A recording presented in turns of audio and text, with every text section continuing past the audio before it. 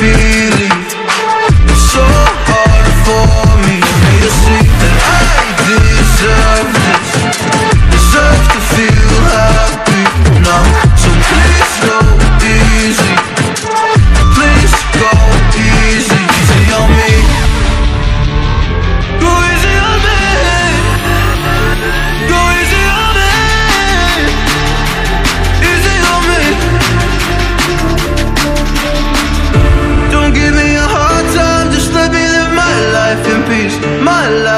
memories. Been broken a long time, don't remember the highlights of me. Highlights of me. Oh, please help me. Please go easy, easy on me.